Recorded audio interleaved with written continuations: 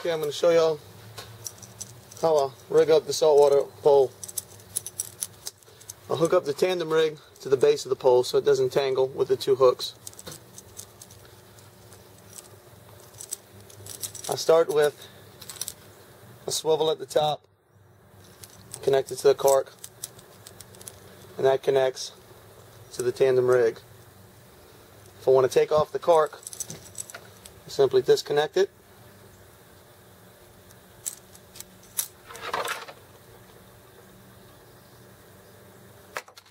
and add the tandem rig to the swivel. Now I'm ready to fish the bottom. I use these double barbed hooks. I kind of custom paint them myself, but uh, I could use any size I want. Th uh, 3 8 ounce is my favorite. And um, I got 20 pound big game tied on. And this is a double circle knot right here. I'll show you how to make that in a second. So, I tie all my lures to a pool float.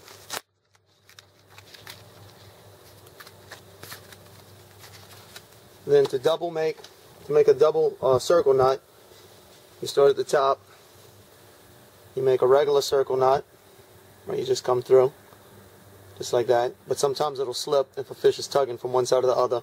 So I'll go again, one more circle, and I'll tighten it at the same knot. And then it's ready to clip onto the swivel, and it will never slip or pop. Unless it's a big one, of course. So I could rewrap it real quick.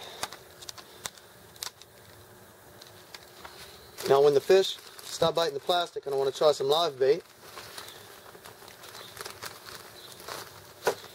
I just take out my weight leader that I make, circle hook at the top, clip that to the swivel. My weight's on. I could choose any size weight I want depending on the current and the wind. I like using the smallest weight possible. Then I clip my pre-made Kahle hook leader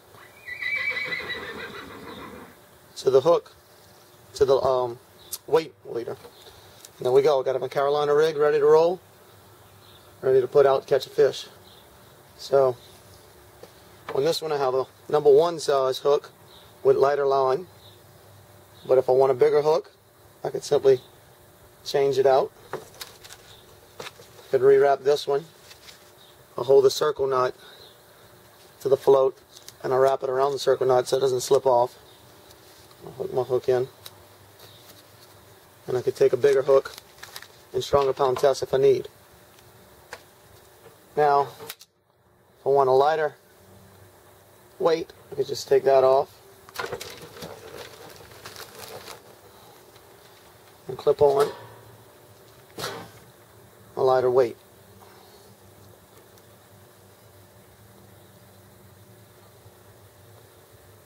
Now I have my bigger hook and a lighter weight if I need. And if I want to fish with a cork, I use just a regular slip-on cork with two pins. It'll keep it from tangling up. Put that on.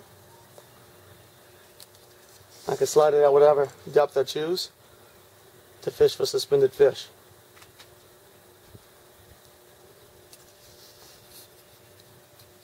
And then my favorite way of fishing is with top water or spoons or rattle traps or any kind of hard bait lure. And I could easily put those to work by taking my main swivel Taking out my top water lure, top dog being my favorite. Or a she dog or a top dog junior. They all work well. And I clip it on. And it's ready to fish. If I tie these top dogs to the regular Power Pro, it's so flexible that sometimes it'll get wrapped around the hook. I find the monofilament leaders work way better for getting no tangles around the hook while fishing.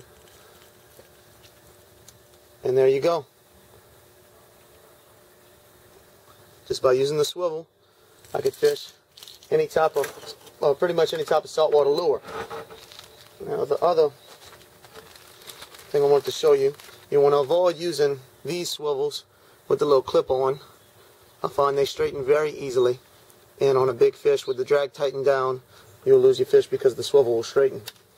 So I use the ones that wrap around the swivel itself and I never have any troubles with these. Use when fishing a tandem rig with a cork like this is to always stop your cast before it hits the water. If you don't, your tandem rig will probably get all twisted and tangled around your cork. The reason why I don't like a weighted cork is because if my baits are both suspended like they're supposed to, the cork will sit like this. If one's on the bottom, it'll sit like this. If both are on the bottom, it'll sit like this. That way I know the depth of the water if it's too shallow, and I'll tend to get stuck less, or I'll put my lure in a more productive area sitting in deeper water, which is why I don't like a weighted cork. The tandem rig will really offset any of the lightness from the cork and allow you to cast far. The other thing, I like using two sets of beads, which gives plenty of noise. Same thing with the bottom, with the weights. You could hear the beads clicking, and sound travels way faster and further underwater. Of course, in a circle, so fish could easily hear it. So in muddier water or when the fish are further away, you could attract them to your live bait or your plastic uh, by popping it. For the majority of the day, all I'll lose is a few of these little hooks on a full day fishing, but because I have extras made, I never have to tie a knot. My corks, my weights, and everything, and my swivel and my main Power Pro probably will never get broken off because it's a much heavier pound test than the hooks.